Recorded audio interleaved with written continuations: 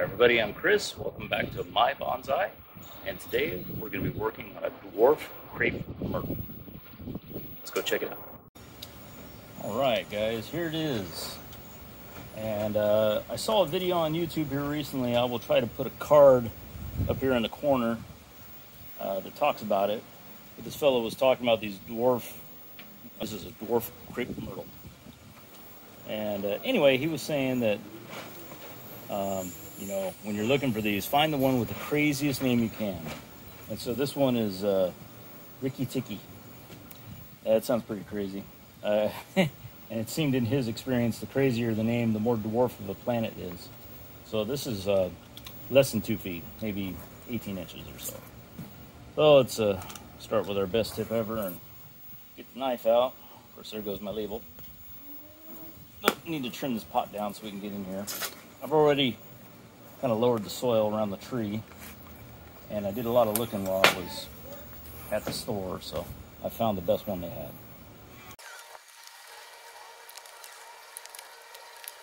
Need to get myself one of those turntables.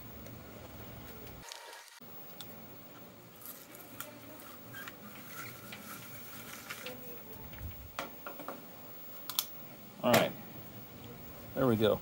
Let me bring you in so I can show you the uh, the root base on this thing is really nice. All right, so if I can hold it still enough, you can see we've got plenty of nice radial roots in here. We got one that is kind of really out of proportion, but that'll have to be dealt with next year. We'll probably cut that one off and see if we can get it to branch. But uh, the trunk line is actually very nice too. It's got a lot of movement.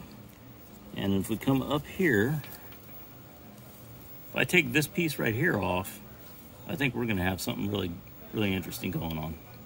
Okay, let me back up so we can see what I'm doing.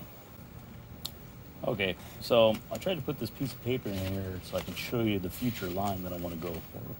So this comes up, comes to a nice point, and turns really nice and sharp, comes up to here, and then I can train this one out and make that the, the future leader.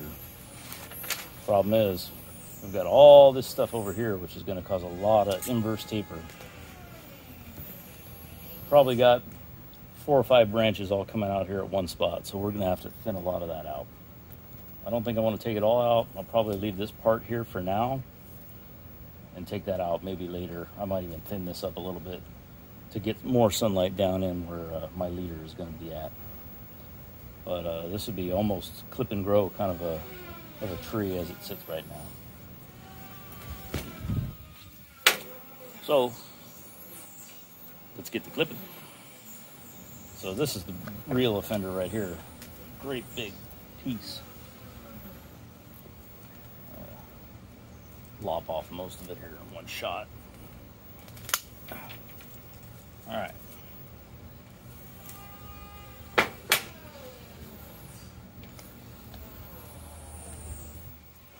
And you can see there's all kinds of dead wood in here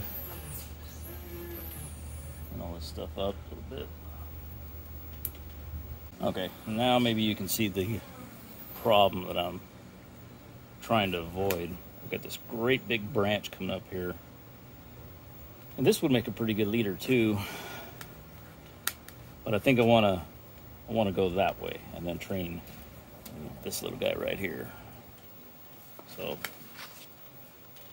going to go ahead and clean this little chunk off of here.